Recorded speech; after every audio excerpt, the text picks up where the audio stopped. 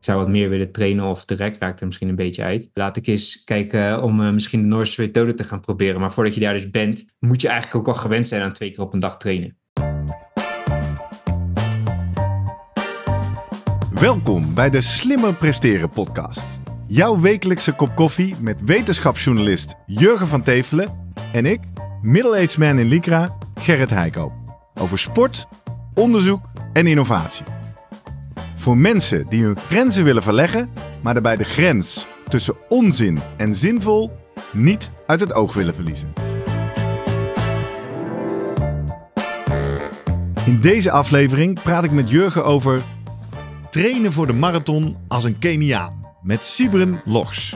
Terwijl de Kenianen al jarenlang het lange afstandslopen domineren, doen de laatste jaren ook de Noorse hardlopers en triatleten van zich spreken. Wat is hun geheim precies? Om hierachter te komen besloot Sibren Logs vier maanden in Iten, Kenia te gaan trainen. Tijd om hem als special guest eens even helemaal uit te horen. Voordat we beginnen, nog even drie dingen om aan te denken als jij zelf ook slimmer wil presteren. Nummer 1. Druk nu gelijk even op abonneren, zodat je altijd direct in de gaten hebt wanneer er een nieuwe aflevering online komt. Nummer 2. Weet dat je Jurgen en mij ook kunt boeken voor jouw volgende bijeenkomst als spreker of presentator. Neem gerust eens contact met ons op via de contactgegevens hieronder. En 3. Deze podcast wordt geproduceerd en gesponsord door Live Online Events. Serieus goede content rondom jouw congres of event. Check www.loe.tv voor meer info.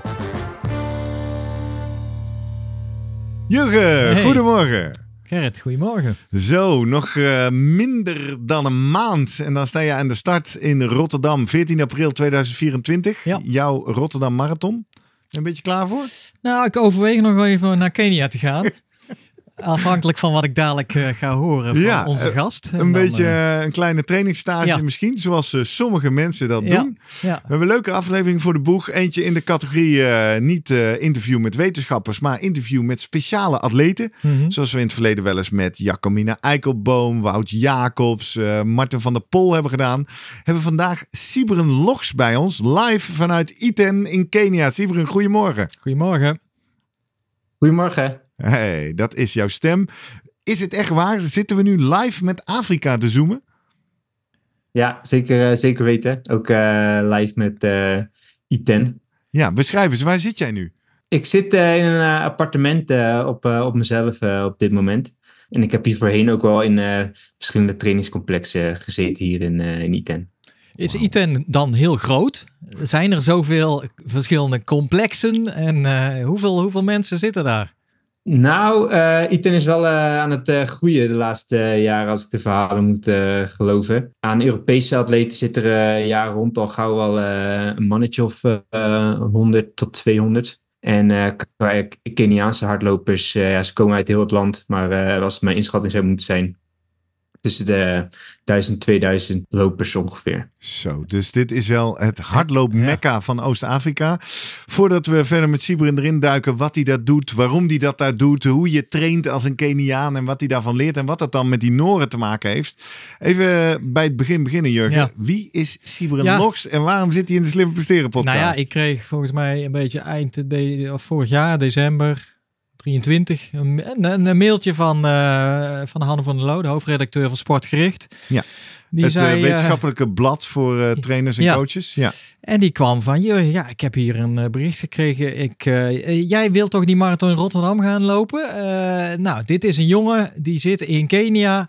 En die is geïnteresseerd om een verhaal te schrijven over het trainen daar. En dan met name richting de Noorse methode. En toen ging voor mij eigenlijk het belletje rinkelen. Ik denk, ja, die Noorse methode stond ook nog eens een keer op mijn lijstje ooit. Om dat eens even uit te typen. Want het is best wel een, een buzz. En eh, het, het, het leeft wel als je eh, op, op internet eh, afgaat op sites over de manieren om te trainen. Dus ik denk, nou, dat is misschien ja, perfect eigenlijk. Ik, ik ga dit begeleiden, zei ik tegen Hanno. Ik heb contact met Sibren gezocht, we hebben gekletst. En eh, het werd duidelijk van, ja, eh, enerzijds is het gewoon een geweldig verhaal natuurlijk wat hij heeft, wat we zo gaan horen. Anderzijds is hij toch ook uh, iemand die mooi kan uitpluizen wat die Noorse methode nou precies behelst. En omdat hij zelf ook uh, traint volgens de Noorse methode, kunnen we het daar eens uh, over gaan hebben. En kunnen de lezers van Sportgericht daar wat, wat meer over ja, lezen. Te weten komen. Ja. ja. en de luisteraars van de Slimmer Presteren podcast. We kregen een mail van Tim Mosmans. Die zei, ik wil ook wel eens een ja. aflevering over de Norwegian Method. Sinds 1, 2 jaar een buswoord. Veel succesvolle Noorse triatleten. maar het blijft zo vaag wat het precies is. Uh, is er iets al wetenschap of uh, hoe kan een atleet dit praktisch toepassen? Sibren, mijn eerste reactie naar Jurgen was: ja. als Sibren meer wil weten over de Noorse methode, waarom gaat hij dan niet naar Noorwegen? Wat doe je in Kenia, Sibren? Nou, uh, ik wil niet per se meer weten over de Noorse methode. daar ben ik ooit in Nederland mee gestart, namelijk. Dat maakt het een beetje dubbel op. Uh, omdat ik, ik ben nu in Kenia aan het trainen, maar ik heb uh, de verhaal van, of het, het verhaal van sportgericht. Dat gaat ook grotendeels over de Noorse methode waar ik een jaar geleden mee ben. Uh, ah, dus jij kan dadelijk mooi de verschillen ook vertellen. Maar even bij het begin beginnen, Sibrin. Want een loper die zijn baan opzegt om in Kenia fulltime te gaan trainen een aantal maanden. Ben jij professioneel hardloper? Of waar, waar, waar, waar begint dit verhaal? Waar schalen we jou in? Ja, goede, goede vraag. Ik ben ooit uh, vier jaar geleden begonnen met uh, hardlopen. Hoe uh, oud ben je nu? Allerlei ik ben nu 30. Oh ja, oké.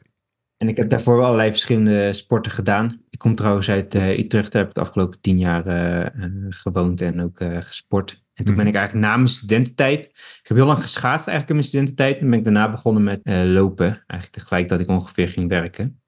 En uh, waar ligt mijn niveau op dit moment? Ik heb uh, recent in uh, oktober 66 minuten en 40 seconden op de halve marathon Eindhoven gelopen. Daar werd ik vijfde. 1 uur 6 dus. Ja, ja 66 ja, minuten. Ja, ja, ja, ik, ik ben gemaakt voor de lange afstand voor mijn gevoel. Ik heb, kom wel wat snelheid tekort. dus ik moet het wel van de lange afstanden hebben, dus een 10 of langer. Ja. En ik wil eigenlijk, ja, ik hou van sport. In dit geval dus hardlopen. En ik, en ik wilde eigenlijk nog een keer een gooi doen naar uh, uh, misschien uh, echt goede tijden op de marathon. En dan misschien ook aansluiting zoeken bij de, de Nederlandse subtop, de Nederlandse top. Ja, precies. Um, dus dat, dus dat is het doel. Ik ben, en, en ik ben zeker nog geen professioneel nee. loper. Dus, Jij bent 30 en je zegt: Ik heb talent of ik ontdek talent. Ik doe een goede halve marathon. Ik wil aansluiten bij de Nederlandse top of subtop. hoeveel ervaring met marathons lopen heb jij, Sibren? Geen. dat is het mooiste. dat is een marathondebuut in 2024. Oké, neem ons eens mee naar het moment dat jij dacht... Ja, Eindhoven ging lekker. Uh, ik zal me uh, inschrijven voor Rotterdam. Dat was al een prestatie op zich om zo'n kaartje te, te, bemachtigen. Weet je wat? Ik ga gewoon vier maanden in Kenia trainen. Waarom begon je niet gewoon even in Utrecht? Ja, ik ben dus wel uh, vier jaar geleden, vier en een half jaar geleden inmiddels uh, begonnen met lopen. Dus er zit wel wat geschiedenis uh, aan vooraf natuurlijk. Ja. En uh, la langzaam in de loopsport een beetje gegroeid. Dus, ik heb altijd wel al tijd bij een atletiekclub gelopen. Eerst twee jaar bij Utrecht en daarna een switch gemaakt van coach. en daardoor ook bij Hellas in Utrecht gaan lopen. Mm -hmm. Mijn coach is Jos Wijnen. niet een heel bekende coach in mijn beleving, maar wel een, gewoon een lokale coach bij de atletiekclub. Wel veel verstand, alle hardloopdiploma's heeft hij. Uh, van de atletiek unie. Of alle trainersdiploma's moet ik zeggen. Eerst twee jaar niet heel fanatiek. Toen liep ik ongeveer drie, vier keer per week. Ja, misschien voor een gemiddeld persoon wel fanatiek, maar dan ga je de top niet meer halen in mijn beleving. En ja, langzaam uh, toch elk jaar wat progressie geboekt. En het begon wel een beetje te kriebelen dat ik dacht, ik kan eigenlijk harder trainen voor mijn gevoel. Maar ik werkte gewoon nog fulltime uh, daarnaast de, daardoor uh, was het wel lastig om, uh, om ja, eigenlijk nog meer tijd te gaan investeren. Ja, ik vind sport mooi en, uh, en, en hardlopen ging eigenlijk elk jaar nog steeds wel wat beter. Alleen de rek raakte er wel een beetje uit. dus toen besloot ik ja, deze rigoureuze stap te, te nemen. Maar ik vind het toch, ja, je hebt over de top halen. Dat je zei, nou de eerste twee jaar trainde ik met drie keer, vier keer per week. Toch te weinig. Had je dat daarvoor ook al toen jij schaatste, zeg maar? Dat je echt iets had van, ja, dit doe ik. Maar eigenlijk met één doel, ik wil de top halen? Of uh, is dat met alle sporten die jij hebt gedaan in het verleden? Uh... Nee, eigenlijk geen één sport. Ik ben ooit begonnen met uh, voetbal. Dat was wel de basis geweest toen op de mm -hmm. begin middelbare school. Zelfs voor de middelbare school al op jonge leeftijd begonnen met voetbal. Dus daar wel conditie opgebouwd. en dat was twee, drie keer per week ook uh, zeg maar sporten. Dus twee, nee, eigenlijk standaard dan twee keer per week trainen en dan in het weekend een wedstrijd. Maar uh, ook voetbal gedaan, uh, nog twee jaar vechtsport, jiu-jitsu en dan eigenlijk in mijn studententijd vooral schaatsen. Ja. Hoe je dat? Maar dat Veelzijdig atleet, hè? Veelzijdig. Ja. Maar ik denk dat ik nooit genoeg talent had voor andere sporten ah. om ooit te doen naar. en, ja, en ineens merk je bij dat hardlopen kwam eigenlijk alles samen. Van enerzijds het talent, denk je wel te hebben. In ieder geval om uh, uh, beter te worden. En uh, daarnaast zag jij gewoon kansen van door te zeggen: Nou, dit is een once in a lifetime kans voor me om misschien wel eens out of the blue de Nederlandse marathonwereld te gaan verrassen. Ja, wat ik, zo, wat ik zo leuk vind, is die, die, die, voorbereiding van die Rotterdam Marathon, die zit natuurlijk vol met dit soort verhalen. Iedereen hmm. heeft zijn eigen verhaal. Jij hebt je verhaal op je zestiende marathon gelopen en nu een soort van nieuw debuut. Ja. Sibrin, jij gaat voor je eerste Rotterdam Marathon. Beschrijf eens hoe jouw trainingsweken zo in maart, hè, tussen de zes tot vier weken voordat die marathon plaatsvindt. Hoe ziet jouw leven er nu uit daar in Kenia? Mijn, uh, mijn leven is redelijk uh, uh, eenvoudig. Ik train twee keer op een dag. en je hebt ja, 11 tot 12 trainingen per week. ik heb eigenlijk geen standaard vaste rustdag. Maar wel één keer in de twee, drie weken wel een, een standaard en een volledige rustdag. Maar dus 11 tot 12 trainingen in de week. En je staat eigenlijk s ochtends vroeg op. Ik train hier vroeger dan thuis. Ik ben niet per se een ochtendmens. Hoe vroeg? En uh, de, Kenianen start, de Kenianen starten namelijk heel vroeg. Al om uh, kwart over zes begint uh, de training. Dan begint het eigenlijk net licht te worden. Je, je, je gaat in het donker, stap je je deur uit en ga je naar de, de, de plek toe waar je verzamelt met, met de trainingsgroep. En doe je s ochtends je duurloop. En dan s'avonds nog een duurloop ja, op andere dagen zit er natuurlijk ook een keer een baantraining in of een uh, stevige prikkel. En verder, uh, ik zit hier nu op mezelf in een appartement de laatste twee maanden. Dus ik kook inmiddels ook gewoon voor mezelf.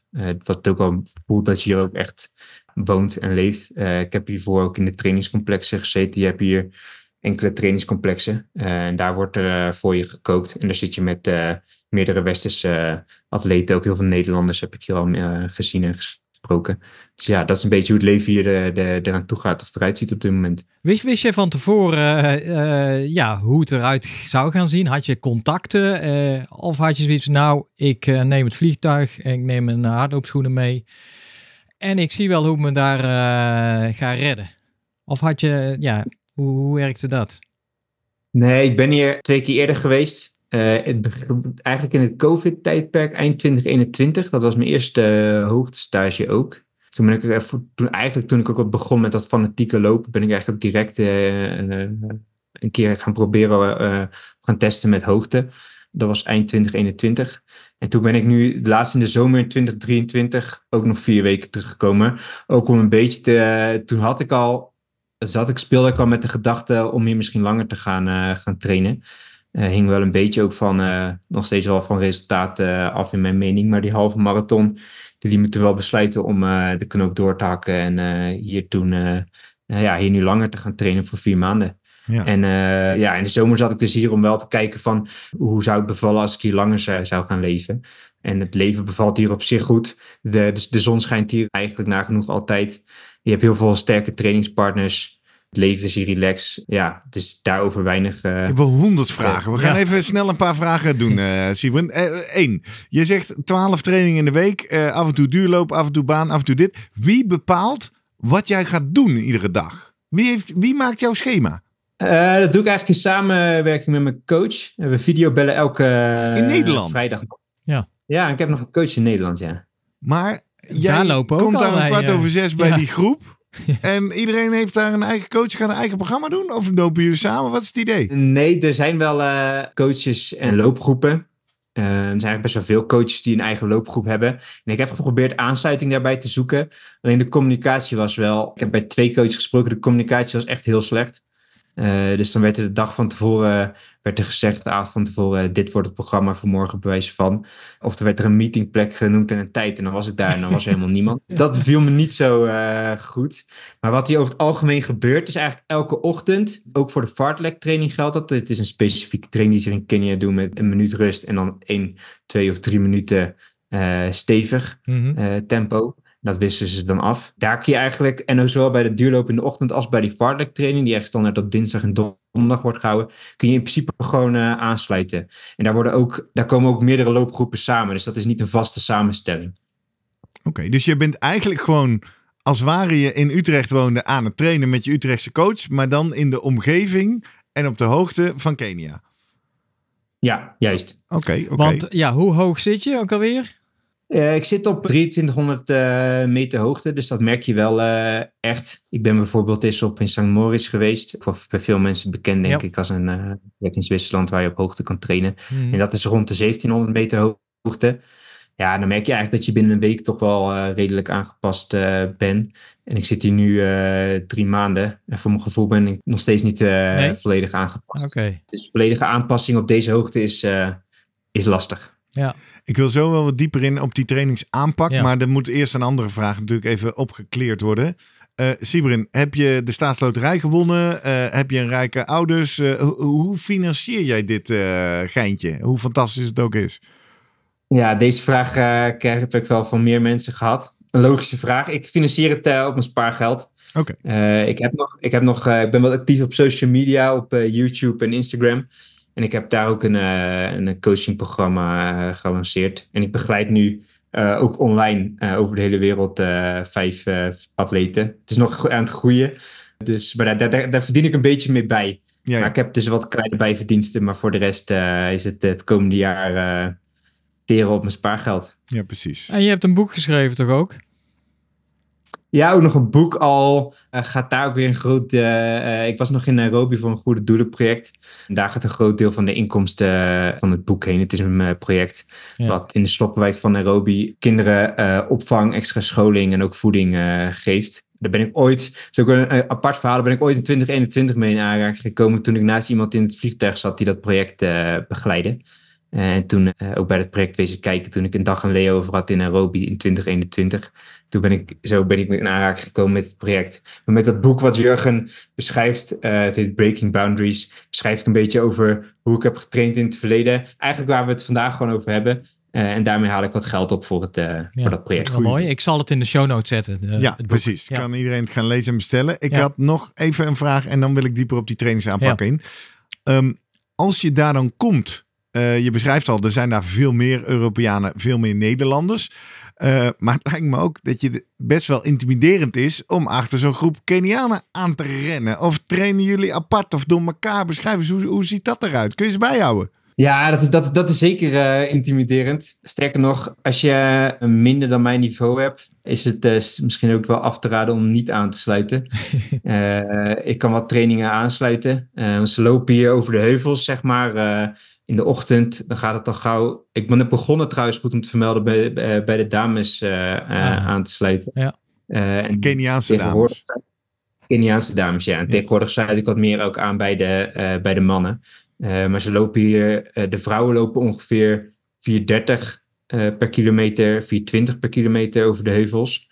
en Voor de mannen, een afstand van? vaak in de ochtend lopen we tussen de 16 en de 20 kilometer. Precies, dat ook even, ja. Even doorstampen, ja. En het is best wel heuvelachtig. Je pakt al gauw 300 hoogtemeters op, uh, op zo'n rondje. Uh, maar dat gemiddelde, dat zakt niet. Dus ja, en met de mannen loop je vier rond, dus 15 km per uur uh, op, een, op een duurloop. En voor hun is dat dan... En het is rustige duur, ja, Rustige duur. Ja, precies. dus voor hun is dat een rustige duur. Misschien aan het eind. Uh, Iten ligt toch echt op een, op een, een hoogtepunt of op een hoogvlakte. Mm. Dus aan het eind loop je altijd wat meer heuvel op. En dan zal het voor de Kenianen af en toe misschien wat zone 2 zijn. Maar relatief rustig. Dus uh, zeker intimiderend. Ja, het zijn stevige trainingen. En ik sluit vaak twee of drie keer per week aan. En misschien ook wel goed om te vermelden. Er zitten hier best heel veel Europese atleten en ook wel Nederlanders. Dus best wel veel uh, baansessies of in de middag een keer rustig lopen. Vaak lopen we in de middag wat rustig uit de tweede training. Doe ik ook veel gewoon met Europese uh, ja. atleten, ja. nationale atleten die hier zitten. Maar heb jij de grote jongens daar ook nog gezien uh, af en toe? Echt, uh, nou, de, de Kipchoge's, nou ja, Kiptum, daar weten Ik we wou zeggen, jij, van, jij was daar helaas. toen Kiptum overleed. Moeten we daar niet eens even bij ja, stilstaan? hij overleed in Ethiopië volgens mij. Maar, ja, dat is waar. Ja. Maar dat is natuurlijk wel, ja, hoe, dat, dat sloeg in als een bom, denk ik. Hoe was dat? Nee, hij, hij, hij overleed hier uh, om de hoek eigenlijk. Ja, oh, ja dat okay, was wel daar. Sorry. Ik denk al, uh, Jurgen, wat zeg je? Dit knippen we eruit, ja. maar vertel eens, uh, Simon, hoe, hoe, hoe was het om daar te zijn toen dat gebeurde? Het, het nieuws sloeg wel een beetje in als een bom. Het was een beetje een gek tijdstip waarop het gebeurde. Eh, wat het ook wel een beetje eh, ja, wat eh, extra apart eigenlijk maakt. Hij, een hij was avond, voetbal aan het kijken. Was, hij was in de avond voetbal aan het kijken, schijnt. En toen, het is, zo, het is om na 11 uur s'avonds gebeurd. Wat Mhm. eigenlijk gek is op een zondag. Ja. Omdat hij moet de, de dag erna in principe, net als alle andere Kenianen, gaat, staat hij om 6 uur op om te trainen. De Kenianen liggen echt niet om 11 uur in bed. Dus dat was wel. dus liggen dat was eerder in bed, apart. wil je zeggen. Normaal gesproken. Ja, ja die, die, die liggen- de meeste liggen al om 9 uur in bed. Dat lukt mij niet. Maar eh, wel vrij vroeg, omdat ze gewoon vroeg trainen. Eh, Ja. Dus dat was wel wat apart eraan. En ja, het, het, het, nieuws kwam en er werd wel de da- dag in de ochtend daarna werd er bij de duurloop bij stilgestaan om even een minuut stil te houden bijvoorbeeld. Mhm. De hele week stond eigenlijk in het teken ervan op het nieuws. Als je in de supermarkt binnenliep stond de tv aan met eh, over Kiptum. En eh, ja, er is, er, is nog een optocht geweest hier in het dorp. Die heb ik, heb ik zelf niet bijgewoond, want ik wist niet hoe laat die was. Eh, het lokale nieuws eh, is af en toe wat onduidelijk over de tijden. Eh, maar de, ja, het draaide eigenlijk de hele week om. Ja. Alleen, eh, hij trainde hier, goed om te vermelden, hij trainde hier zelf. eh, niet in de, in de buurt, eigenlijk op een half uur afstand. eh, waar eigenlijk heel veel toppers zitten in Kattegat. Dus je zag hem wel eens af en toe op de baan waar we in de stad trainen.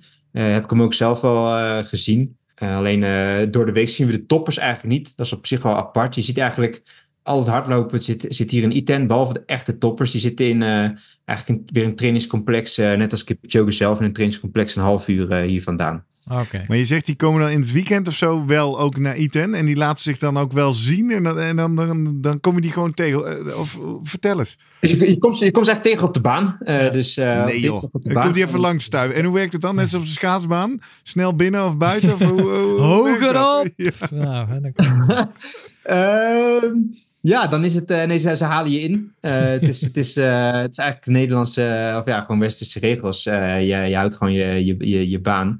En, en de treinen, want ze lopen in treintjes van al gauw eh, 10, 15 man. ja. En dan komt er een treintje hier voorbij ge- geraast. En vaak, ze starten vroeg op de baan. Vaak zijn nu nog de laatste intervallen bezig. En dan zijn wij net aan het starten. Dus zoveel loop je elkaar niet in de weg. Maar je, je zag ze regelmatig. Kipchoge zie ik de laatste tijd, zag ik de laatste tijd weinig.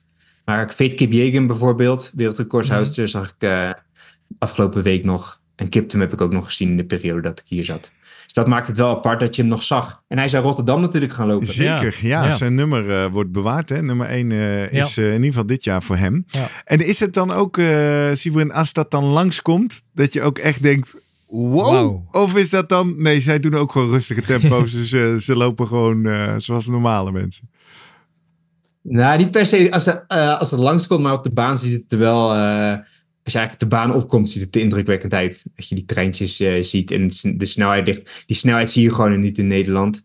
Ja, je ziet het wel in Nederland, maar je hebt, dan heb je ergens een lokale hardloper die met een groepje van twee of drie dat tempo bolwerkt. En hier heb je gewoon treintjes van 15 of 20 man die, die dat tempo dan, dan lopen. Wauw, Nog even, ik was er, want je, jij ziet er echt stralend uit, blakend van gezondheid. Ik denk, eh, oké, want eh, ja, je moet ook wel maar voor jezelf zorgen. Je traint natuurlijk eh, best wel hard.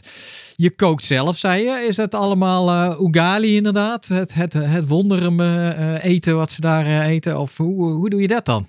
Ik eet zelf, eh, ik heb ugali hier in de, in de kast staan. Eh, dus ik kook zelf ook ugali. De Kenianen eten, eh, ja, ugali is dus eigenlijk, eh, voor de mensen die het niet weten, het is maismeel wat je in heet water eh, gooit en dan wordt het een soort stevige pap. Mhm. Het heeft, de reden, het heeft niet veel smaak, dus je, dus je moet er iets van kruiden en saus bij maken, anders dan zou ik het omschrijven als misschien, ze voeren het ook aan de honden. Maar de, het, het, heeft- het heeft heel veel voedingswaarde. Net als rijst of pasta of zelfs nog iets meer schijnt. Dus het is, goed, gez- eh, het is gezond eten. Ehm, en de Kenianen eten het bijna eh, dagelijks. Niet zo heel gevarieerd. Ik eet zelf, net als in de trainingscomplexen, eet ik wel pasta, rijst. Ik kook voor mezelf eh, ook af en toe pannenkoeken voor de lunch. Ja, Ik probeer wel een beetje gevarieerd te, te, te, te koken. ja. Groente, fruit, allemaal. Ik bedoel, Koolhydraten, eh, het, is, het is er allemaal. Het, het komt over als een behoorlijk professioneel, behoorlijk professioneel eh, complex, überhaupt wat daar is, denk ik. Alles, alles in dienst voor de hardloper. Ja, ja zeker. Ja. En, en fruit is hier spotgoedkoop. Ja. Eh groente ook. Dus, eh, en avocadootje meer of minder eh, aanschaffen. Daar hoef je Ja. niet te laten, zeg maar. Lekker. Hey, ehm, we zijn op weg naar iets meer te leren over de Noorse methode. Maar nog even om die Keniaanse methode af te maken. Want je beschrijft al twee keer per dag trainen. Veel rustige duurkilometers, maar ook wel veel fartlek, baan, van alles bij elkaar. Ehm, wat voor volumes moet ik aan denken? Want we Mhm. hadden het net even over Kiptoom. Een van de dingen die bij hij onbekend leek Ja. te gaan staan, is dat hij enorme kilometers in de week draaide. Meer dan ieder ander. Hoe zit dat bij jou op dit moment? Ja, zeker. Ook omdat ik eh, dus mijn debuut ga maken op de marathon, eh, was het wel eh, nodig om meer kilometers eh, te gaan eh, maken ook. En ik heb daar dus nu ook de tijd voor wat ik in het verleden niet had, of minder had. En mijn volume ziet er eh, nu uit tussen de 150 tot 170 kilometer eh, per week. Ehm, dat Dat is is zelfs nog wat aan de magere kant als je die met de toppers. eh ja, toch? Ik wou zeggen, dat, dat is heel veel vanuit Ja. mij als amateur gerekend. Jurgen, waar zit jij ongeveer? Eh 40 misschien, zoiets. Ja. Dat is dan weer aan de onderkant van de Ja. bandbreedte. Ja, Maar ik bedoel, iedereen op zijn 180 manier. tot 200, daar, daar hoor ik Nederlandse toppers ook wel meer over, toch? Hè? Dat, eh, Ja, precies. Eh, ze zeggen dat de topmarathonlopers rond die 180 tot 200 Mhm. eh, lopen. Ja, goed, dat was voor mij nu nog eh, hier op hoogte ook wat, wat veel. Het is wel een beetje vertekenend. Dus je pakt hier vrij veel hoogtemeters mee, of veel meer dan in Nederland. Dus op het vlakke zou het wel vertalen naar misschien pas naar weken van 180 bijvoorbeeld. En wat ook nog een beetje vertekend is, ik kom uit het schaatsen. Dus ik heb mijn eigen fiets hierbij. Hm. En ik fiets ook nog één keer per week twee, ja, tweeënhalf uur. Oh, maar dat vind ik Eh, wel dus- interessant. Want eh, gebeurt dat meer of ben je echt de eenling die daar aan het fietsen is? Want ik- ik weet, het initiatief is er in ieder geval. Louis de La Haye bijvoorbeeld. Dat, dat het, ja, de, de, wat, wat beperkt nu eigenlijk het, eh, de trainingsarbeid voor lopers is het feit van dat zij eh, ja, de, de gewrichten en de, de belasting op, eh, op gewrichten, et cetera. Dus dat het eigenlijk goed is voor ze als zij hun eh, ook nog fietsen erbij, waardoor ze een extra trainingsbelasting kunnen krijgen. Maar gebeurt dat in de praktijk al?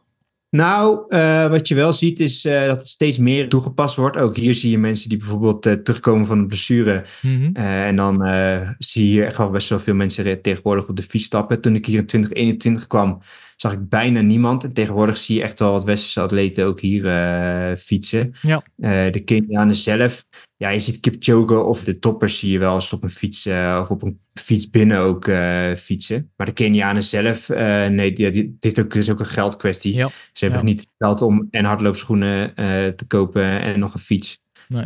Maar anders zouden ze misschien ook meer willen of kunnen, kunnen fietsen. Maar het wordt wel steeds meer, eh, ook hier zie je door de toppers wel, eh, dat er meer gefietst wordt. Ook als rustige training bijvoorbeeld. Mhm. Hier in de, in de middag een uurtje fietsen in plaats van lopen, dat zie je eh, wel veel. Of fietsen veel binnen op een, op een crossfiets of een, of een ja, hoe noem je het?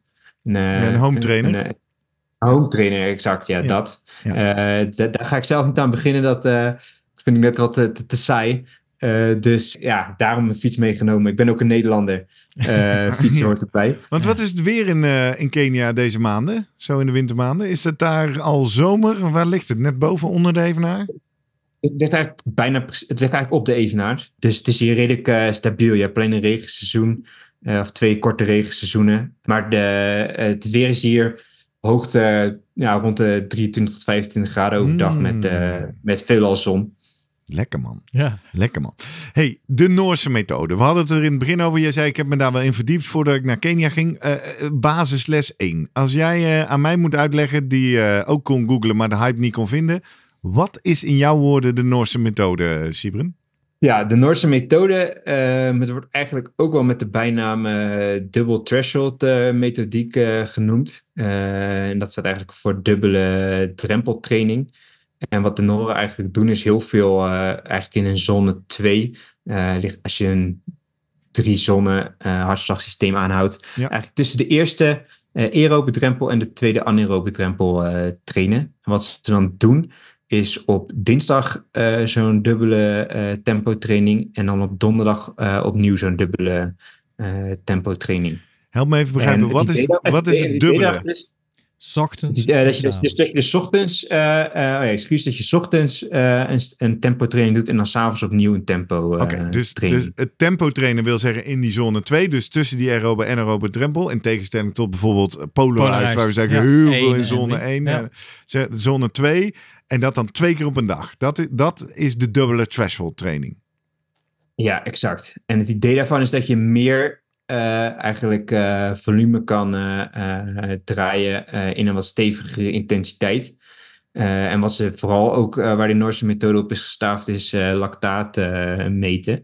Um, waarom doe je lactaat meten? Om dan ook eigenlijk te testen of je in de juiste intensiteit traint. Want als je dus die methode gaat toepassen en je doet eigenlijk al die tempo trainingen net te veel, mm-hmm. dan raak je misschien gauw geblesseerd of overbelast. Dus het zijn ja, getemporiseerde trainingen. Dus, dus, dus er zit wel nog een, zit eigenlijk op die trainingen zit een rem.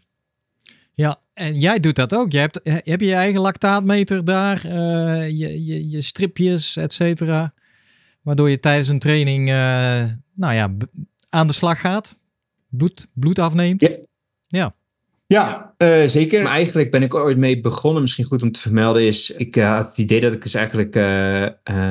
vooral op eigenlijk stevige dagen... waar bijvoorbeeld een baantraining was... of een tempotraining... ik eigenlijk wat harder wilde of kon trainen. En je wil wel je rust ook eigenlijk voldoende bewaren. Dus om eigenlijk bijvoorbeeld een extra training op een andere dag in te lassen, maakt het lastig. Want dan kun je niet echt meer herstellen.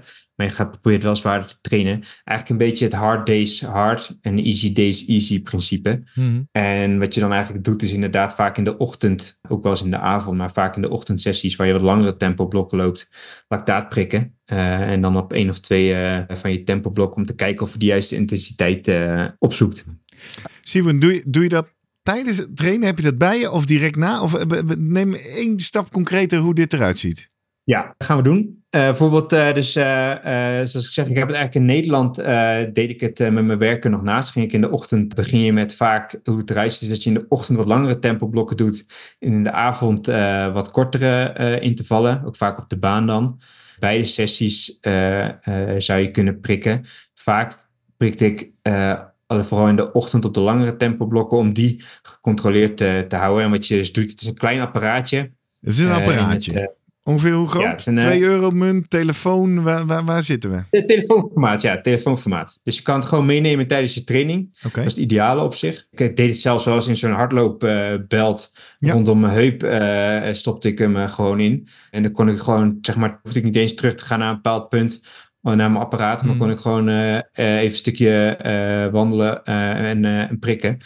Bewijzen van. Er zit een soort klein naaldje in of zo en die pakt een druppel bloed. En ja, dan, het is een apparaatje met strips. En die strips die stop je in het apparaat. En vervolgens prik je bloed in je vinger. En daarna vervolgens analyseer je je bloed op basis van ja, lactaat uh, waarde in je, in je bloed. Mhm. En uh, dat moet op een bepaalde waarde ongeveer vallen. Maar ja, die waarden zijn ook online te, te, te, te vinden. Ik weet niet of we daar specifiek op in willen gaan. Ja, nee, maar je, je, je hebt een soort referentie. Je hebt natuurlijk inspanningstesten, dat kennen we allemaal wel, ja. wel besproken. En daar heb je drempels bepaald. En je bent dan in het veld, dus aan, aan het toetsen, aan het dubbel checken. Dat je zo dicht mogelijk tegen je drempel aankomt, maar niet erover. Moet ik het zo begrijpen? Ja, exact. Exact dat. En wat er dan gebeurt is, dan krijg je, lees je een waarde uit. Uh, en die waarde is uh, of goed of te hoog. Meestal niet te laag. Vaak train je al gauw te hard. Ja. Uh, dus jij staat daar te scannen, prik, prik, te hoog. Ik heb ook wel van Jurgen geleerd, het is natuurlijk een beetje een gradient. Maar goed, je hebt ergens voor je bepaald, ja, dit, dit, vind ik te hoog. Ergens is zo'n kantelpunt waar ja. als je daarover gaat, dan stijgt dat lactaat ineens door. Ja, exponentieel omhoog. En daar wil je precies onder blijven. En, dat is een, uh... en dan, Siveren, dan heb je dat gemeten. En dan denk je, oeh, vorige tempo iets te hoog, maar lactaat is te hoog. Wat doe je dan? Dan ga ik mijn tempo dus aanpassen. Ja. Dat gebeurde echt, uh, echt regelmatig. Kan ik je zeg maar uh, zes of zeven van de tien trainingen uh, in mijn geval uh, moest ik het tempo uh, iets omlaag schroeven, zeker aan het begin. Toen ik nog onwennig was met ja, lactaat meten en dat soort drempeltrainingen. Op basis eigenlijk van ervaring hoef je op een gegeven moment ook minder te prikken. Dus ik merkte op een gegeven moment, hey, oké, dit is ongeveer de intensiteit waar ik op moet lopen mm. en mijn gevoel ook bij die intensiteit. Dus je leert een beetje je gevoel ook beter inschatten, waardoor je uiteindelijk uh, ook wat minder hoeft, uh, hoeft te testen. Ja. Uh, want ja, als je gevoel al klopt en op een gegeven moment een beetje denk je, oh ja, deze waarde had ik al verwacht. Klopt. Want ik denk dat, hoe hoe jij jezelf? Is dat op het klokkie? Is dat inderdaad op gevoel? Is dat op een vermogensmeter op je schoen? Hoe bepaal jij het, het tempo van je blokken? gevoel en ook wel mijn, mijn klokje, mijn GPS. Ja, maar, maar dus niet op vermogen? Nee, ik loop niet op vermogen, nee. Want een luisteraar uh, thuis die zal zeggen, ah ja, zo'n lactaatmeter, want die kost wel een paar honderd euro volgens mij. En dan moet je strips hebben. Daar begin ik niet aan. Maar ik heb toch mijn hartslagmeter. Uh, is die niet uh, goed genoeg? Heb je, merk jij zelf van, nee, ik, ja, ik kan beter afgaan op lactaatwaarde dan op mijn hartslag? Goede vraag, Jurgen. Ehm, ik ben ooit inderdaad dus met die dubbel methodiek begonnen, omdat ik dacht, ik kan twee stevige trainingen op een dag draaien. Maar wat je dan ook wel bij mij, in mijn geval met mijn hartslag merkt, is als je vermoeid raakt, dan komt die hartslag ook minder makkelijk uh, Mhm. En dan is vaak lactaat uh, een, uh, een accuratere waarde voor, voor inspanning. Okay. En hier, zeker nu ik op hoogte zit, achteraf gezien, dat was voordat ik eigenlijk nu ook meer op hoogte liep, dat ik met die methode ben begonnen. Maar achteraf gezien was dat wel een goede, ja, een goede investering geweest. Want hier op hoogte zegt je hartslag voor mijn gevoel nog iets minder dan uh, lactaat.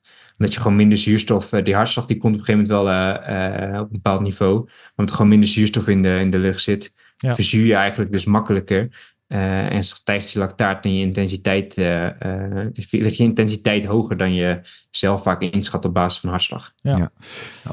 We hoeven natuurlijk niet nu allerlei amateurs aan de lactaatmeter te helpen. Maar de beperkingen van trainen op hartslag hebben we natuurlijk al vaker in de podcast over gehad. Want jij bent dan op hoogte en je zoekt heel erg de drempel. Andere mensen hebben gewoon een baan of hebben stress of zijn vermoeid. En ook dan zijn die hartslagwaarden natuurlijk uh, vertekend en minder goed bruikbaar. Nou ja, en ik denk het is goed, want we hebben een aflevering gemaakt hè, over polarized versus pyramidaal, et cetera. Al die trainingsmodellen. Ja, om die maar eens terug te luisteren. Kijk, de kracht, uh, zoals ik hem zie, en dat is ook de reden waarom uh, ooit begonnen is, die zei, ja, ik wil meer trainen, ik kan meer hebben, maar ja, hoe doe je dat effectief?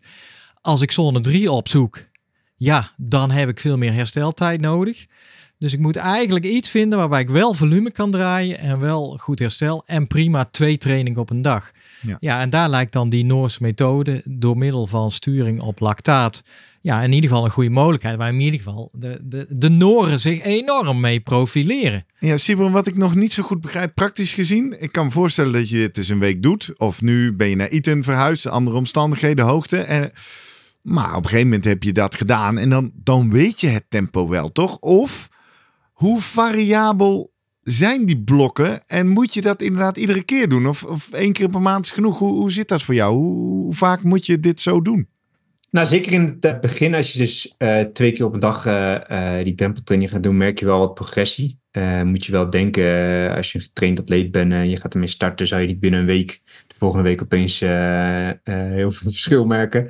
Het kan wel zijn dat er, of ja, goed om dit verhaal eerst af te maken, dus je kan binnen twee, drie maanden wel wat progressie verwachten. Dus dan is het wel goed om ja, zeg wekelijks of in ieder geval twee wekelijks een keer te testen. Maar je hoeft zeker niet elke training te gaan lopen prikken. Nee, dat leek me ook. Op een gegeven moment heb je de tempoblokken wel van ervaring leer dus. Ja. Precies, op een gegeven moment basis van ervaring weet je wel wat, uh, wat je inspanningsniveau uh, of hoe, hoe je gevoel is. Dus het is, het is, op een gegeven moment is de, neemt de waarde van het apparaat in dat kader wel wat af, omdat je je gevoel gewoon beter leert ja. uh, inschatten. Nou, zoals ik zeg, in mijn geval op hoogte ligt de curve weer echt net weer wat anders. Dus dan heeft het weer meer waarde om op hoogte weer opnieuw wat uh, uh, meer te testen. En per dag kan het wel, uh, je moet wel, je leert wel beter naar je gevoel te luisteren. Want als je bijvoorbeeld echt een mindere dag had, dan kan die lactaatwaarde echt wel een, daar kan wel 15 seconden verschil mee zitten met de weken voor bijvoorbeeld. Terwijl je gevoel op zich wel klopt. Maar ja, als je dan dus niet je gevoel uh, leert te, te, te, vertrouwen. Of, uh, En dan dus wel uh, stevig gaat, gaat trainen. En dan sta je de plank dus misschien net wat mis. Een belangrijke aanvulling, zo'n double threshold, dat doe je hoogstens één, misschien twee keer in de week. De meerderheid bij jou is ook gewoon de lange duurloop in zone 1. Hè? Dat is dat mensen niet denken van dat ze alleen maar in het zo moeten gaan trainen in het grijze gebied, zoals dat soms genoemd wordt. Jij doet hem één keer per week? Die dubbele threshold? Ja.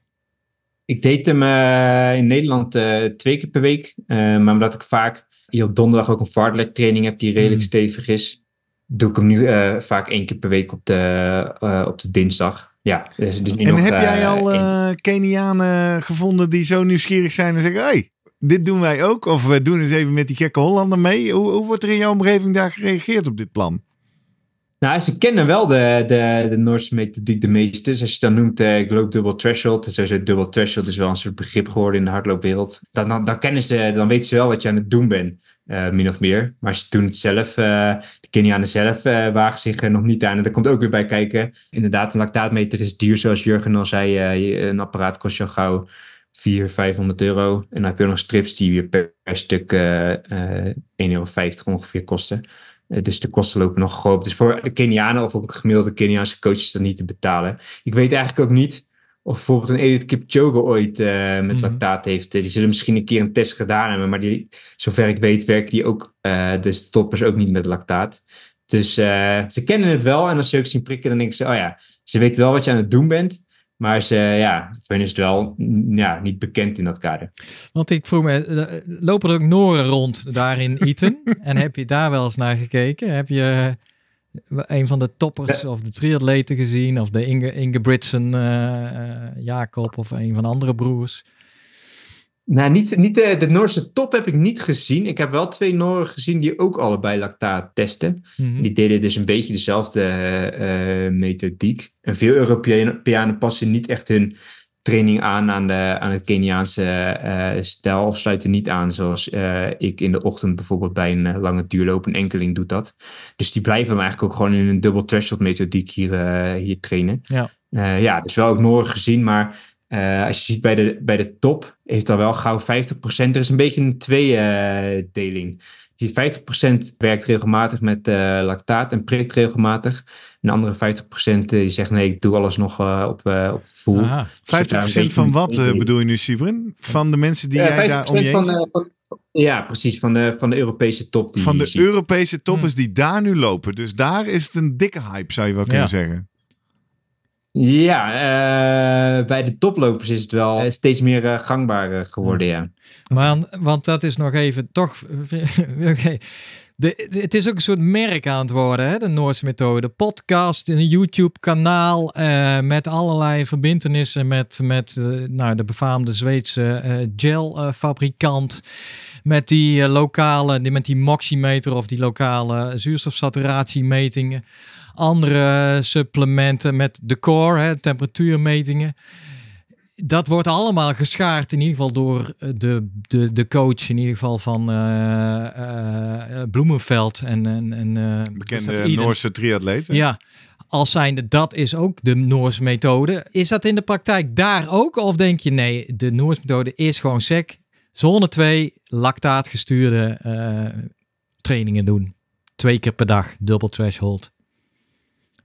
Ja, in mijn opinie is het dat laatste. Uh, is het dus gewoon SEC die lactaat meten. Uh, of de combinatie van drempeltrainingen in combinatie met lactaat meten. Dat is eigenlijk de Noorse uh, methode. Misschien goed om te noemen ook. Het is ooit bedacht door Maris Bakker schijnt. Het is ook een, een, een Noor die hier trouwens in Kenia is gaan testen ermee. Die is een van de eerste lactaatmeters op de markt. Of misschien was het nog niet eens op de markt. Is die hier mijn beleving twintig jaar geleden mee begonnen. Mhm. Eh, ook hier in Kenia. En, uh, en dat heeft hij eigenlijk mee terug naar Noorwegen gehaald.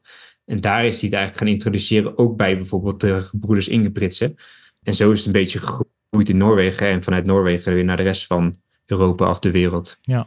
Als ik dan even vertaal naar mijn wereld als uh, amateur marathonloper, dan is dus vaak de basis hè, die zegt je moet veel langzame duur lopen. Dat is de basis. Dus als je nu luistert, begin niet met lactaat prikken en dubbel threshold. Veel langzaam rustige duur. Doe je ook, hè, Sibrin? Dat is het grootste deel van je 170 kilometers rustige duur. Ja, zeker. Ja, Oké, dat is de basis. Dan is de volgende tip die je krijgt. Nou, dan moet je af en toe eens even harde tempo's lopen, intervallen. Want daar word je sneller van.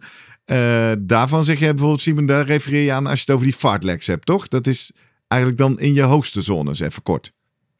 Ja, zeker. exact. En wat er dan nu nieuw aan is, wat dan specifiek is voor mensen die ja. richting de elite willen of heel veel lopen, heel veel trainen, zeggen nou wacht even, waar we eerst een hype hadden over polarized training, waar we zeiden heel veel rustige duur, een beetje hard. Nee, er is ook echt veel te winnen door veel op het wedstrijdtempo, dicht tegen je drempel aan, extra uren te gaan maken. Het liefst dan twee keer per dag op die ene dag omdat anders, als je dat vaker in de week gaat doen, kom je in de knoop met je herstel. Zo moet ik het begrijpen, of niet? Ja, zeker. Uh, zou ik daar twee tips voor de amateur? Ja, doe, eens, doe eens, doe eens, doe eens.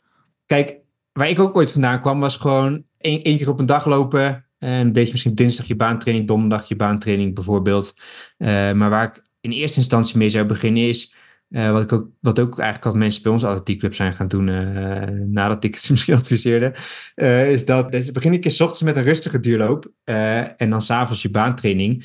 Wat ik merkte, als je gewoon consistent traint, is dat je dat herstel, dat wordt na, naarmate je meer loopt, gewoon wat beter. En dan kun je uh, gewoon eerst eens je omvang wat vergroten door twee keer op een dag en dan één keer een stevige training en één keer een rustige training te combineren. En als je dat al misschien een jaar aan het doen bent of langer, dan zou je misschien eens kunnen denken, hey, de rek raakt eruit. Wat bij mij dus het geval was. Ik dacht, hey, ik zou wat meer willen trainen of de rek raakt er misschien een beetje uit. Laat ik eens kijken om misschien de Noorse methode te gaan proberen. Maar voordat je daar dus bent, moet je eigenlijk ook al gewend zijn aan twee keer op een dag trainen. Exact. Nou, mooie aanvulling, Sibrin. En dat is waarom ik hem ook net even afpelde. Voordat dadelijk allemaal mensen denken, wat, wat wordt hier nou eigenlijk geadviseerd? Nou, het is een nieuwe aanpak, maar wel voor een bepaald soort type atleet die aan de randen van zijn volume komt. Hè? Of in ieder geval op zoek is naar meer volume, laat ik het zo formuleren. hey, wat, uh, ik ben heel benieuwd. Jij bent er nou vier maanden. Wat mogen we gaan verwachten? Ja, ga je wat, wat beetje heeft, sneller. Wat heeft het jou uh, gebracht, die, uh, die Noorse methode en, en het trainen En de Keniaanse methode. Ja.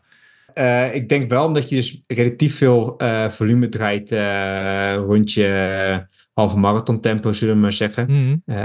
aan marathon tempo brengt die Noorse methode in mijn beleving vooral voor lange afstandlopers ehm, ja, meer succes. Je ziet Ingebrigts doet bijvoorbeeld de 1500 meter, loopt nu natuurlijk ook ja. rap. 1500 meter lopers doen het ook. Maar of het tussen 1500 meter uh, nou heel veel sneller de, van maakt, dat vraag ik me af. Dus in mijn beleving merk ik vooral veel progressie op 10 kilometer of langer met deze methode.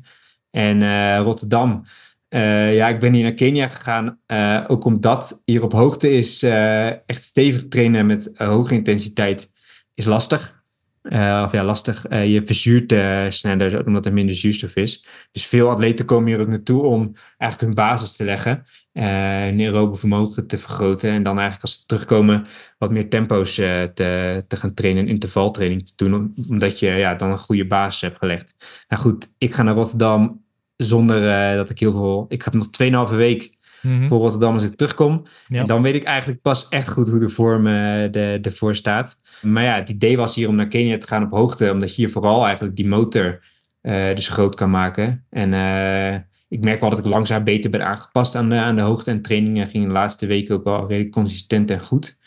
Maar om echt te testen moet ik toch weer, ben ik bang terug naar ja, zeeniveau en, en maar eens gaan racen. Ja, want dat is, je hebt, daar, heb je daar af en toe een wedstrijdje of een, een, een Cooper-testachtig ding? Of uh, om te weten, ja, uh, ga ik vooruit? Of blijft het allemaal toch een beetje afgaan op de, de trainingsuitslagen, waardoor je weet waar je staat? Ja, de laatste tijd is vooral wel gewoon nog steeds op traininguitslagen. Al moet ik wel eerlijk bekennen, de laatste maand boekte ik in mijn lactaatwaardes niet heel veel. Je merkt vooral de eerste twee maanden dat je, je wat lager in je lactaatwaardes kwam te zitten op hetzelfde tempo. Dus dat was op zich een goede indicator. Maar dat was ook omdat het natuurlijk beter aangepast was aan de hoogte. Ja. En lopen op hoogte, dus als ik, ik, ik raak niet volledig aangepast. Daarvoor is het gewoon net te hoog. 2300 meter. Dus het is lastig te zeggen waar ik voor mijn gevoel nu sta qua niveau. Ik heb nog een lokale cross hier gelopen in uh, januari. En uh, dat was op zich wel een hele happening ook. Er komt er echt wel, uh, ja, gauw een loper of duizend. Serieus? Ze verschillende... Ik zag de beelden vanmorgen op jouw Instagram-kanaal, Sieber. Maar dat Oh, ja, is ja, echt heel heftig. Zie je gewoon een heel veld met alleen maar hele snelle Kenianen die zo wegblazen. Ja. Ongelooflijk. Ja, dat was. uh, uh, ik, ik liep de juniorenrace nog mee omdat die twee kilometer korter was. Er liepen niet alleen junioren mee. Ik, op de leeftijd controleren ze hier niet zoveel. Misschien ook nog gewoon een grappig feitje is. Uh, Kiptum schijnt al de 30 gepasseerd te zijn. Ook als je kijkt naar zijn kinderen, die geloof ik zijn oudste kinderen al 6 of 7 zijn. dan is 24 wel vrij jong. Oh, ja. laat ik zo zeggen, de leeftijd van Kenianen die is nogal vaak wat. Ja, een beetje arbitrair. Ja. Ja, precies. Maar uh, het was een, uh, een ervaring aan zich, die, die cross. Er liepen 300 junioren ongeveer mee. Ik denk dat ik op plek 70 uh, eindigde. Dus Zo. je wordt gewoon verslagen door, door 70. ja, ja, ja, het is ook niet plek 270, nee. Sibrin. Nee, dat is waar. Maar eh, als ik een, een cross in Nederland loop, kan ik me geen enkele cross inbeelden waar ik op plek 70 eindig. Nee, dat is waar. Dat is waar, dat is waar. En, en beschrijf maar hoe, eh, wat, wat voor tempo's halen, haal je dan in zo'n veld? Waar, waar, waar gaat dat op? Uh, poeh, ja, ik had wel moeite om uh, echt hoog tempo te lopen in de cross. Ik liep drie, net, of net iets onder de drie, net iets boven de 320 per kilometer. Die toppers die lopen eigenlijk gewoon in het veld dus, met nogal wat heuvels erin. Gewoon 20 per uur. Oei, oei, oei, oei, ja. Ongelooflijk, ongelooflijk. Jouw ambitie voor Rotterdam, ben ja, we gaan uh, langzaam waar, richting waar, ga je, waar hoop je te eindigen? Waar hoop je te staan? Ik hoop in elk geval, uh, ik heb hier ook een, een, een, een armbandje laten maken waarop staat uh, onder de 218. Dat is eigenlijk het doel. Ik ben tevreden als ik onder de 220 weet te eindigen. Ja. Als, als ik eigenlijk niet onder die 220 eindig, is het, het, het verschil met de top nog wel wat groot op dit moment. Ja, ja het doel is nou, onder de 220 en het liefst onder de 218. Zo. En hoe zit Kan je dan eh, qua Nederlands, eh, want het is een Nederlands kampioenschap dan ook, toch, denk ik? of Eh, is werkt dat dit zo jaar niet? Rotterdam? Ah, nou, Weet ik niet. Ja, dit Rotterdam is ook- dit jaar is ook het NK weer. Hoe, Oké, eh, hoe, Dan loop je op plek 10 ongeveer, eh, als ik naar de resultaten in het verleden moet eh, kijken. Nou, spannend. Ik kan Ja. me voorstellen op weg naar je eerste marathon dat je nog best wel wat vragen hebt over hoe doe ik het eigenlijk met voeding? Hoe doe ik het in die laatste week? Hoe doe ik het in de laatste 24 uur? Ik heb een tip voor je, Simon. Ik weet niet of het jou lukt om aan te haken met het twee uur tijdsverschil. Maar alle luisteraars, die kunnen aankomende dinsdag, dinsdag 26 maart 2024, live bij ons op de bank komen zitten. Net zoals jij nu live vanuit Kenia. Voor onze Vraag ons alles over je Als je denkt, hey, hoe kom ik daarbij? Het werkt heel simpel. Kijk op onze nieuwsbrief, website of social media. En eh, klik op de link om je even gratis aan te melden. Dan kun je meedoen. Want ik kan me voorstellen, toch Simon, je traint wel keihard. Maar een marathon heb je meer op te lossen dan alleen maar heel hard lopen. Eh, en daar begin ik langzaam me toch wel af te vragen. Hoe gaat hij dat dan doen? Bedoel, eh, wat, wat is je langste duurloop tot nu toe geweest, eh Simon? De langste duurloop is 34 kilometer geweest. Ja, hè? dan ben je Ja. toch nog net niet. Eh, dus- dat was best aardig, maar eh, ik, eh, ik, ga, ik ga ook niet verder dan. ik ga 36 is het plan volgend weekend aantikken. En dan stop ik wel ook volgens de Keniaanse methodiek dan eigenlijk ook weer. Er worden wel tempo's gedaan in die lange duurloop. Dus het is geen rustige lange duurloop. Dus je zoekt daar wel ook wat marathontempo in op. En je eet op meerdere punten. Wat ze, wat ze hier doen is, op zaterdag gaan ze hier naar een asfaltweg die iets vlakker is. Eh, het is nog steeds wel heuvelachtig. En dan lopen de Kenianen eigenlijk ook een lange duurloop. En eh, het mooie is rijden met eh, busjes, matatus heette dat. En vervolgens rijdt er gewoon elke vijf kilometer een busje langs. Wordt je bidon aangegeven, kun je een jelletje pakken. Eh, zo gaat het eigenlijk eh, tussen de vijf en zes kilometer eh, Oh. eh, tot aan je, totdat je klaar bent. Nou, dat lijkt best wel op Rotterdam met iedere vijf kilometer een drangpost. Ehm Sibren, er viel me nog één detail op. Ik ging jou even opzoeken op Strava om eens te kijken hoe die trainingsweken eruit zien. Maar eh daar zag ik je niet. Nee, eh, dat klopt. Eh, ik weet niet dat ik mijn trainingen geheim wil houden, maar eigenlijk wil ik zelf niet mezelf vergelijken met anderen op Strava. Dus ik heb in dat kader, ik heb Strava, mijn naam staat er als het goed is op. Maar Zeker. mijn- maar alleen- er gebeurde niks. mijn- mijn co- Mijn, mijn, mijn coach ziet de data in op, op, op Strava. Voor mijn coach die kan zien wat ik aan het doen ben. En het is niet dat ik. Misschien moet ik het ook wel eens open gaan stellen. Want het is helemaal niet dat ik het geheim wil houden. Maar het heeft er meer mee te maken dat ik me niet met. Eigenlijk mezelf niet met anderen wil vergelijken. Of verslaafd wil raken aan Strava. Oké, Ja, misschien jammer. naar wilde je, Rotterdam. ja, misschien Ja. naar Rotterdam. Of eh, de laatste weken laat ons vooral eens gluren wat je doet in Kenia. Ik wilde je in ieder geval uitnodigen. Want als special guest van de Slimmer Presteren podcast... krijg je een uitnodiging voor de exclusieve Slimmer Presteren podcast Strava Club. Die is alleen toegankelijk voor vrienden van de show en speciale gasten. Ja, het leek me leuk eh, dat wij daar dan kunnen gaan gluren wat je doet. Nou, je moet maar eens overwegen of je het, eh, of je het openzet en of we mee mogen kijken daar. Krijgt hij wel het shirt eigenlijk dan? Hij Ja. krijgt uiteraard het Slimmer. Presteren podcast eh, sportshirt. Wat ik me kan voorstellen wat heerlijk is om aan te trekken even na de finish. Als je de pers te woord moet staan en eh, dit mooie verhaal eh, moet vertellen. Of wat dan ook. En misschien, Sieber, maar die moet jij gewoon wel bestellen. Wil je wel een paar snelle hardloopsokken? Slimmer Presteren snelle sokken zijn te verkrijgen via slimmerpodcast.nl slash webshop. Maar goed, dat eh, laat ik verder aan jou. Laat dat ook al die Kenianen weten, al die Ja. Europeanen in Eten, hè? Dat ze... Dat ze hele kunnen sokken bestellen. kunnen bestellen. Ja. Het is, eh, de placebo-effect Het zijn mooie blauwe gegarandeerd.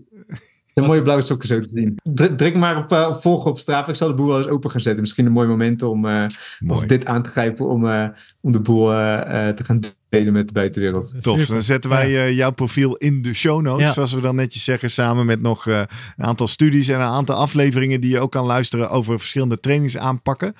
Um, mocht je nou niet aanwezig kunnen zijn live dinsdagavond, Sibrin. En er toch nog mensen zeggen: hey, ik heb nog een leuke vraag.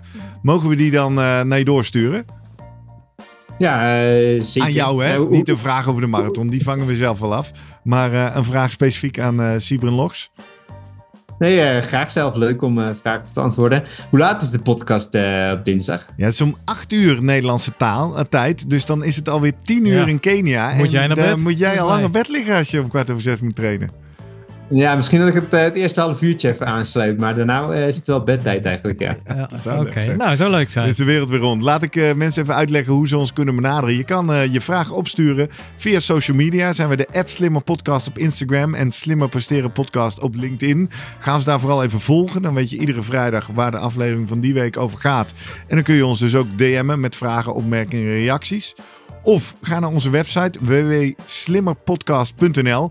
Daar vind je die webshop met al die leuke gadgets die je kan bestellen. Maar ook van iedere aflevering een eigen pagina. Waaronder je ook reacties kan achterlaten. Of als je nou Sibren kent, of als je andere debutanten kent, of dat je misschien mensen uit de top 10 van het NK Marathon in Nederland kent en denken: hey, hebben jullie deze gast wel in het snotje? Dan kun je die link pakken en uh, naar elkaar doorsturen.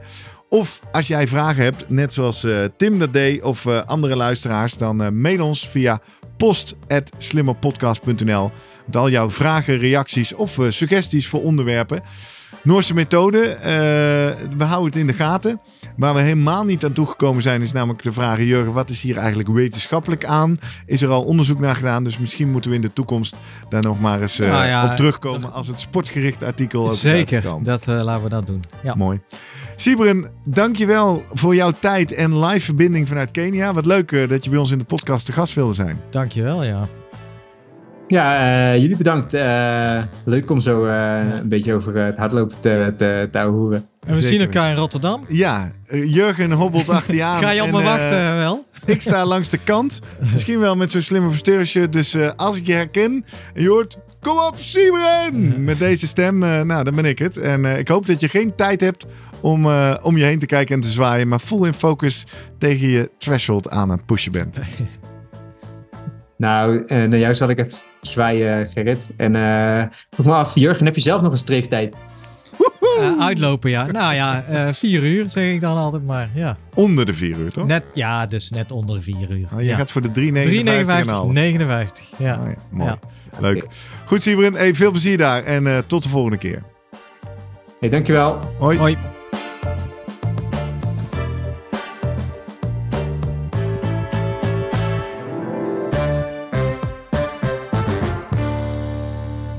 Goed dat je deze extra lange aflevering over de voorpret voor de Rotterdam Marathon helemaal uitluistert. Aan het eind van onze afleveringen hebben we namelijk altijd nog een tip voor alle luisteraars die net de Slimmer Presteren podcast ontdekken en nog kunnen gaan duiken, grasduinen door de meer dan 170 afleveringen. Jurgen, we hebben het gehad over trainen als een Keniaan. Waar zouden mensen vooral eens moeten doorluisteren? Ja, het ging ook over trainingszones. Dan zou ik zeggen aflevering 93 over inspanningstesten, waarin we eigenlijk uitleggen, ja, hoe zit dat met, met lactaat? Uh, hoe zit dat met drempels, anaeroop, aeroop? En uh, ja, hoe, hoe benader je eigenlijk die zones en hoe pas je dan uiteindelijk in de praktijk toe in je training? Dat zou ik, als ik dan toch mag zeggen, nog eentje doen. Aflevering 89, waarin we het hebben over die trainingsintensiteitsdistributie. Waarin uh, zaken als gepolariseerd of piramidaal voorbij komen. Ja, en, uh, allerlei modellen om te bepalen hoeveel uur Precies. besteed je nou aan welk soort training en wat zegt de wetenschap daarover? Ja, ja. Interessant. Aflevering 93 inspanningstesten of 89 over gepolariseerd en allerlei andere modellen van trainen.